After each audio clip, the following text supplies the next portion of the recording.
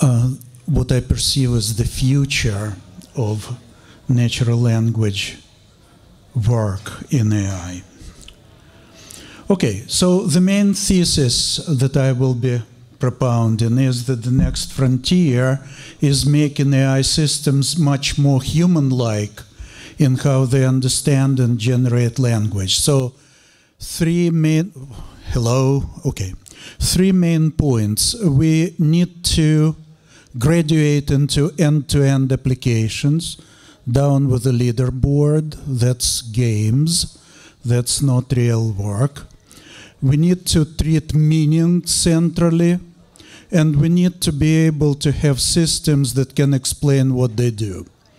So, this is something that is broadly understood, even by researchers at Facebook who say essentially that uh, we need to be learning meaning in the flexible and generalizable way that humans do. And uh, some other colleagues uh, say that it's hard to see how human level understanding can be achieved without greater attention to common sense. I fully realize that most of the stuff that you do does not deal with this type of thing at all. Uh, so uh, uh last year, the um, AAAI organized a committee to decide on research priorities to realize societal benefits of AI. And uh, among other things, they stressed uh, topics such as integrated intelligence, which means combining modular AI capabilities. We saw in one of the previous talks a huge number of individual capabilities that certain systems can perform. Uh, so we need to combine them. Create shared repositories of machine understandable world knowledge uh, and understand human intelligence they also talked about meaningful interaction, which means productive collaboration in mixed teams of humans and machines. And uh, another thing is self aware learning. Uh, not what we know as machine learning, but real learning the way we do. Uh, and we need to work on that. Incorporating prior knowledge, developing causal models, in other words, allowing machines to explain why certain decisions were made, including decisions and how to understand language. Uh, all right, so once again, next frontier is uh, making AI system much more human-like. All right, so but how do we do that? Uh, so, uh, what could we do? We, we have the technologies and the science of today. So here are some uh, big slogans. Approaches based on analogy, that is anything that is done in machine learning, whether probabilistic or connectionist, simply won't do it. Uh, we can discuss why separately. I don't want to spend time right now. And knowledge based approaches will, but they will need a lot of help in doing so. So we need all hands on deck. And as it says here, I fully understand that this is much easier said than done. Okay, so uh, we need hybridization. And this is, by the way, the slogan of the day. We have been he uh, hearing about hybridization for a decade at least. All right, but an interesting point is how to hybridize. So, for people invested in advanced applications of machine learning, or whatever uh, shade, uh, it is natural to think about grafting elements of knowledge on machinery and machine learning oriented architectures. This morning, Professor Shoham uh, uh, told us about the use of WordNet, which, by the way, is not really machine understandable knowledge. It's a dictionary. Uh, uh, so, because the purpose of that research is to improve the performance of those applications, but those applications won't make the grade. So what we need to do, we need uh, go beyond addressing partial tasks. We need knowledge-based systems. Okay, so a few a few questions in general about human language processing. So, have you ever wondered why people are so good at ambiguity resolution? You know, often some examples we need to be shown that there was an ambiguity in an input because we resolved it without even realizing that there was an ambiguity in an input. The standard response, response to that question is uh, to use the context, but this is almost not an answer because context is in Marvin Minsky's uh, terminology a, a, suitcase word. That means whatever people want it to mean in various um, um, applications. So, what is uh, context? Well, we can think about it, and I, the diagram is coming. So, uh, some more questions about what people do. Uh, why do you think people interrupt one another in dialogues? And it's not only because we all have bad manners and I am guilty as charged. Why people are so good at understanding unexpected unexpected input and the hint is they don't use a training corpus. Uh, how do people learn meanings of new words? So a personal recollection is zerbuvit. So I learned it from you know what, right? From the Gashashim. And I have never used it myself and I have never seen it in a text. And I remember what it means. Huh? Well, right. I can even tell you where the explanation is what the chupchik shelakumkum, what chupchik means, because that's my native tongue, right? But uh, that is immaterial. You see, I could, I could uh, explain it, but I would be playing the role of linguist, not a user of language. And we are unbelievable users. Uh, sorry, Yes, unbelievable users. We are very good understanders of language. Okay, so why do people phrase their utterances differently when talking to different people in different contexts? It's everybody knows that, right? Well, if we talk with a five year old and try to explain to a five year old what a violin is, it's one thing. But if we want to talk with a grown up or even a musician, then it will be an entirely different thing. Also, another thing uh, how uh, have you wondered how people keep their cognitive load? within workable limits when processing language input.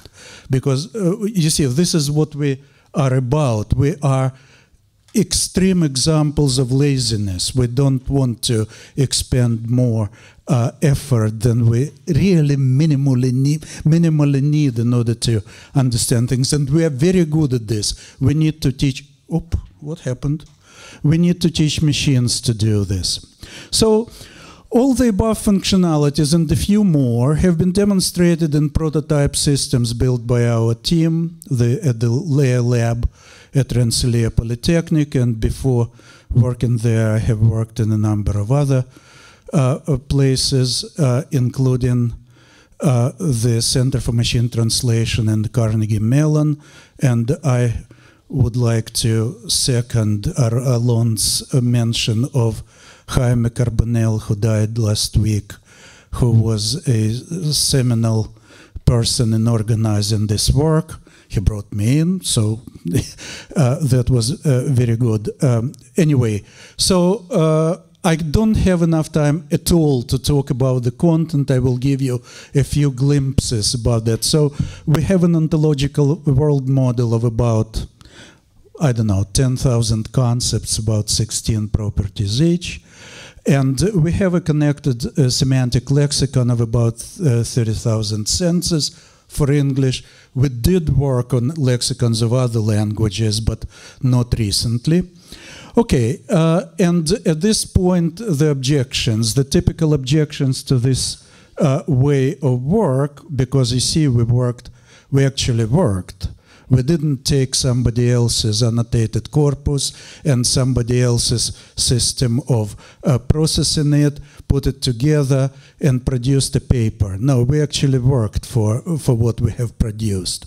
Uh, so the objections are well, manual knowledge acquisition, it's too expensive, it's wishful thinking, uh, it's ivory tower uh, tower pontification, which, by the way, it could be, of course, because you know I'm I'm uh, I work in academia, so that's how it is. And uh, you would say we need to compete in the marketplace today, etc. Yeah, uh, uh, all of that uh, are interesting objections, but they could be responded to. And also, from the point of view of applications, we need to know that, you know, you need to get ahead of the competition. And what you are dealing today with is yesterday's technology of tomorrow. You need today's technology of tomorrow, right? So there we go. And you know, disruptive technologies and all these slogans we need uh, to, you know, not only pay lip service. Being realistic is good, but it does not always mean going for the low hanging fruit, right? How about some slow moving meat? Uh, all right, so uh, now let's talk about hybridization done right. We need AI systems that people can treat as colleagues and not just as prosthetic or even orthotic devices. So systems that can understand and use the meaning of their input uh, uh, systems that cannot do that will not make the grade. So the answer is we need meaning-oriented cognitive architectures supported by data and ML-based capabilities. So the proposal summarized is instead of grafting knowledge on machine learning configurations, what we need to do is use machine learning methods to enhance knowledge-based cognitive systems, and we are in the business of uh, doing that at prototype level because we are an academic lab. Okay, so in the time remaining, I will try my best to persuade you that this is not wishful thinking. And to do so, I will briefly describe just a few facets of the R&D program that directly addresses many of these issues. It's a very long-standing program. It started in 1980 when my students and I at the Hebrew University built the first morphological analyzer for Hebrew, rule-based and all that. And uh, by the way, it's an unbelievable sight to see so many people uh, doing uh, natural language in this country because when I started 40 years ago, there were two and a half of us. Uh, and this, this really is very different. So, the latest book size report about the current state and the latest results from this uh, program, from the language component of this program, will be published by MIT later this year in the book called Linguistics for the Age of AI by Marge McShane and myself. It describes the language processing modules of the language endowed intelligent agents, or LEIAs, and the cognitive models of treating a comprehensive inventory of language phenomena and language use. So within our scopes, uh, this is all within our scope, and uh, uh, our models and systems address those questions that I described briefly head on. So, uh, a few diagrams you don't need to read them there will be no quiz at the end of the of, of the period so uh, this is a uh, diagram of the knowledge sorry, of the language understanding system. It has many components, both processing components and knowledge components. The important part for today is that at least three of the early components are machine learning based. Okay? By the way, it immediately raises the issue of grounding. Everybody understands what I'm talking about? You know, the outputs of those systems need to be put in sync with the knowledge-based uh, uh, inputs, right, or rather background knowledge. Okay, so this is the OntoSem, but OntoSem is a part of a larger encompassing uh, architecture uh, which is OntoAgent. It's a big cognitive architecture in which only those these three parts relate to language. My point is that you cannot do real work in language understanding without also working on reasoning and also working on connecting other um, uh, modalities of perception. And we have done this in a few limited but still uh, comprehensive throughput systems. I can talk, I will talk just very, very briefly about them. But the important part is functionalities. And this is uh, a subset of the functionalities that we address uh, very seriously. So ambiguity resolution of many types, you all know that uh, uh, we can talk about details later if anybody is interested. But let's talk about others. So treating anomalies, our systems are expected to face unexpected input. And we do this with a variety of times, the types of such inputs. Uh, we also have uh, built our latest uh, implementation of the analyzer incrementally, so uh, the output get, gets produced even before the end of the sentence uh, is reached. Uh, a, a, more important issue is actionability. I will talk about it a little bit uh, just a little bit later, uh, which means processing only enough to understand and act. Uh, right, mind reading. Have, have you heard about this? It's not about sir, the circus and and such. It's about okay. Uh, it's modeling the knowledge and goals and plans of others, of interlocutors, right? In order to be able to understand what they are saying. Uh, learning, and we're talking about real learning, human-like learning, um, uh, in four modes, by reading, by being taught in language, by experience, and by reasoning. I will not be able to talk about this in great detail. I have just one example, and also introducing multiple modes of perception uh, so that we can understand uh, dialectics, you know, uh, give me that, and so on. Uh, so um, uh, all of this is uh, worked on. Don't look at this, this is too much. Uh, uh but we uh, have the idea there is that we are interested in comprehensive applications. It's not just like we do, uh, let's say, um, oh, I cannot point. Can I point? Can I point? Yes, I can point. Dynamic constraint tightening. Yeah, so uh, we have some constraints in static knowledge resources, and we have algorithms that allow us, based on uh, the situation model that we have, to uh, uh tighten uh, constraints. It's okay. Uh, right, but this would be one of those separate tasks that people are talking about. Our interest is in having an entire process. So let's talk a little bit about uh, some other things. So most approaches to automatic language processing, irrespective of the methods they use, have as their ultimate proclaimed goal a complete and correct analysis of language inputs. It's not what people do. Humans do not always go for complete and correct analysis. Uh, well, illustration is if human says to robot, go get the fire extinguisher and the robot should start to move before the dialogue turn ends. Do you see what I mean? Yeah, okay. So we already implemented this capability to, by uh, having the agent seek a request info, request action, speech act, and language input before deciding on what action other than uh, on any action other than creating and storing a text meaning representation. By the way, what is this dot? Where does it go? Yeah, I know that this is a pointer, but how do I manipulate it? That's a question. You know, this is technology. This is real stuff. So, uh, thanks. Uh, the illustration of learning lexical items. So we have. Oh, excellent. Thank you so much. Wow. You know, magic.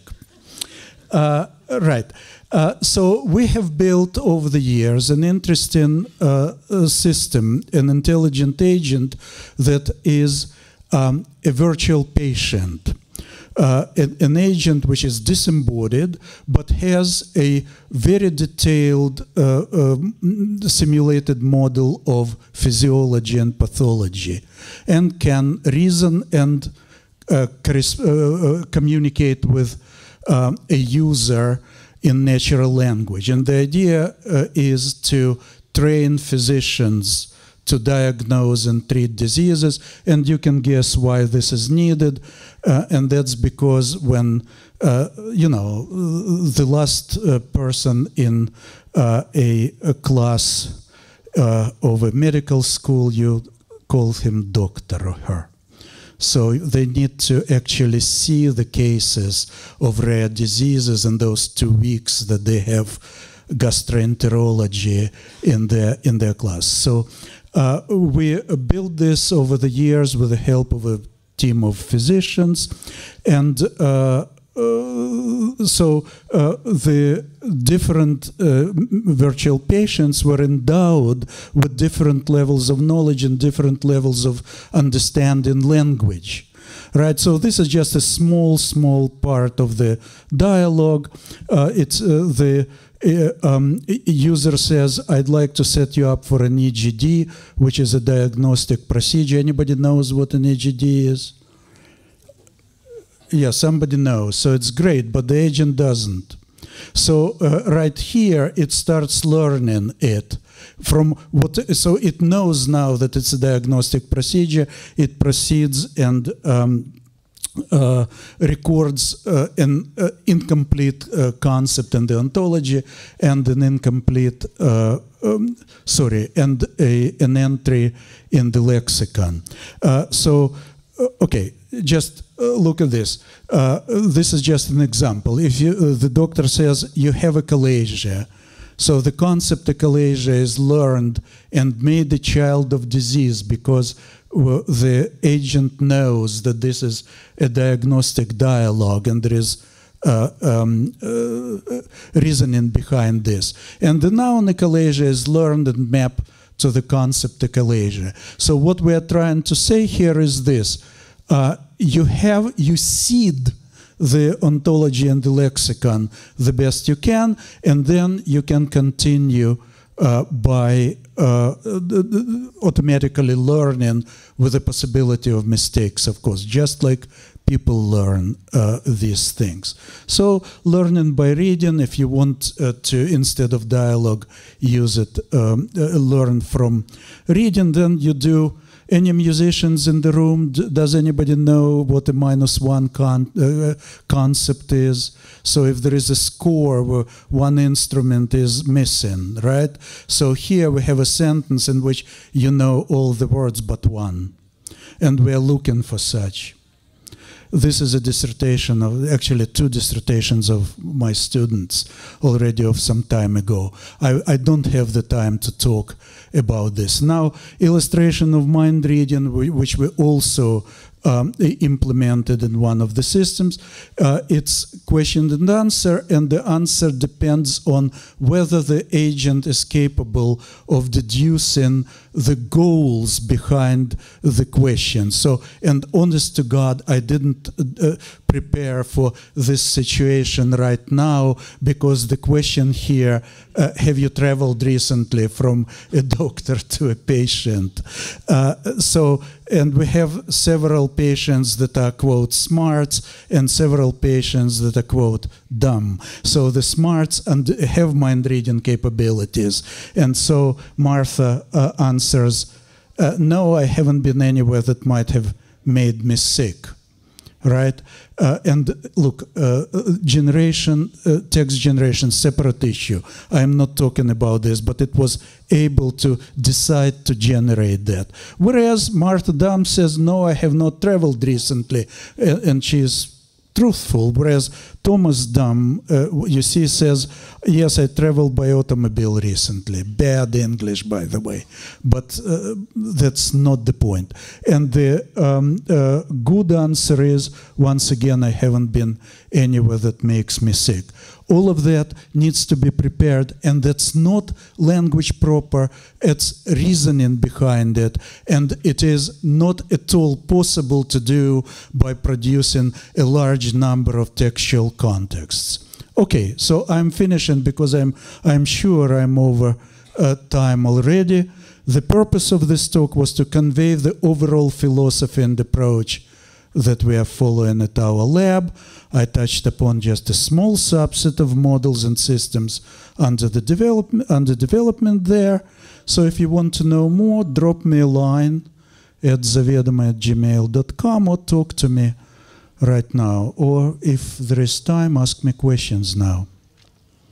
Thank you.